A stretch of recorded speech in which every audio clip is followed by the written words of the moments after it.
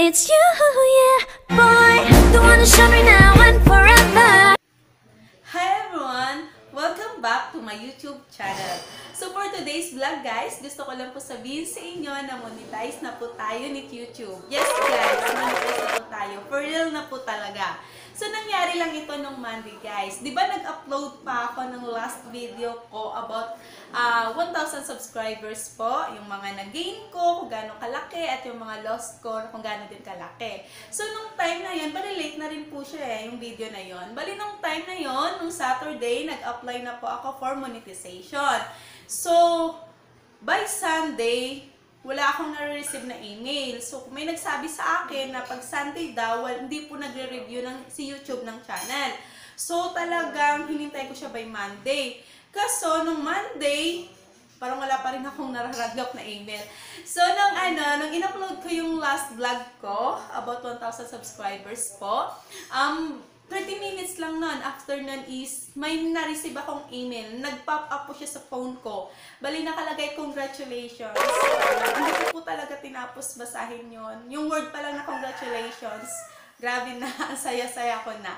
And then, pumunta po ako ng YouTube studio agad. Inon ko yung dollar sign. And then, ang bilis po, nag-run na po yung ads. Ang bilis lang talaga. And then, doon na ano ko, nag-sick in na sa mind ko na, oy, legit na. Monetize na ako ni YouTube. So, itong vlog na to guys, hindi ko lang po ginawa para sabihin sa inyo na monetize na tayo ni YouTube. Gusto ko lang din i-share sa inyo yung journey ko bago ako dumating sa point na ito. To inspire you guys. Grabe din yung hirap ko. Grabe din yung stress ko. Grabe yung struggle ko. Lalo na tayo na almost everyday nababawasan tayo, nalalagasan tayo. So guys, samahan niyo ako. I still show up on on a second, I love this moment, yeah. Stay a minute, another minute. Hold on a second, I love this moment. Bago lahat, um, shout out muna sa friend ko na si Riam's Vlog. Friendly po yan guys. You can visit her and legit po yan. So, guys, last August 29, I've been active uh, uploading video here in my channel. So, mas inuna ko pong in-upload yung mga alaga kong pusa at aso, yung mga pets ko po. Dahil po, ang totoo niyan is shy ako. nahihiya po ako magsalita sa harap ng kamera o nahihiya po ako Ah, yun, sa harap ng camera. Balo wala pa akong lakas ng loob. So, ginawa ko, in-enjoy ko lang yung sarili ko sa pag-upload doon sa mga pets ko. And then, doon na rin nag-start akong makipag-friends. So, lumabas po ako sa comfort zone ko. Lumabas ako doon sa dapat. So, ano, nag-start po ako makipag-friends. And then, umabot pa ako ng 500 subscribers. And then, wow, sabi ko, ganito pala pag YouTube. Ang dali lang. Ang dali. Yan, sige, usad lang, usad, ganyan. Oh my God. September, I think it was September, nagkaroon po tayo ng struggle. So, nag-down po yung subscriber ko. Nag-start na po maglinis si YouTube. And, doon na. Doon na dumating yung stress sa akin. I think, stress sa akin. Siguro sa inyo din po. Um, hirap na po ako mag-gain ng subscribers. Hindi na po ako umuusad. Almost everyday lagas po siya ng lagas. So, nagpahinga ako siguro ng almost one week. Pati yung mata ko, pinahinga ko na din kasi masakit na. Um, ginawa ko, after one week, nanood ako ng mga live stream, nag, ano ako, nag-take ako ng mga advices nila, ganyan. Ganito daw ang tamang pagsasubscribe. So, ginawa ko naman siya. Anyway, ginagawa ko naman talaga dati para help na lang din. And then, kung tama naman kasi ginagawa mo, mas more na i-bless ka, di ba? So, kung makipag-friends ka, totoo talaga, real ano, totohanin mo na. Hindi yung friends lang sa una and then wala na. Sorry, naghugot. And yun guys, so ano, parang feeling ko effective naman siya. Kasi, wag ka lang mag-stop kasi makaka-encounter ka talaga ng mga totoong friends. Oo, makaka-encounter ka. Wag ka lang mag-give up. So, parang umusad siya. Kahit pakunti-kunti lang, okay na yon So, happy na ako doon. And then, mas nag-ano ako, happy ako sa mga views ko. Ang daming views. Thank you po sa inyo.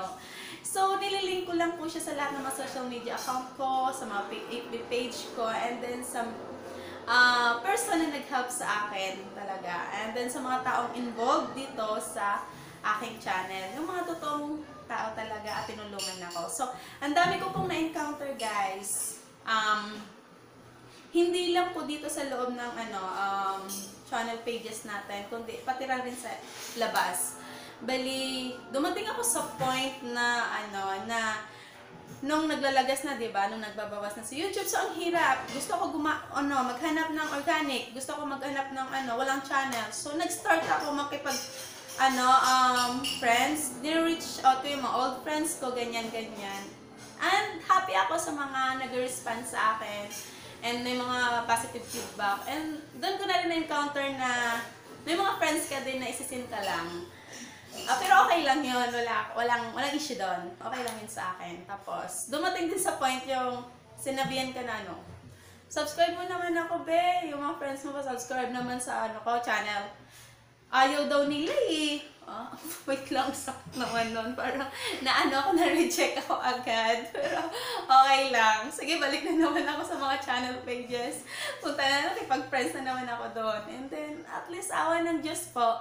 Nakaka-encounter naman ako ng mga real friends. And, ayun, umusad, umusad siya. Umusad yung subscribers ko. And, napaka-happy ko doon. And, yun guys, gusto ko lang po sabihin sa inyo na ano, nakaka-encounter din kayo na gaya na na-encounter ko, tuloy lang po. Tuloy lang po. Darating din kayo sa point na ganito, na mamonetize kayo. Or para sama-sama po tayo na mamonetize. And ah wag natin kalimutan yung mga friends na tumulong, na naging parts po. Yung mga friends natin, yung mga vloggers din, na naging part ng journey natin. And shout out po sa inyo.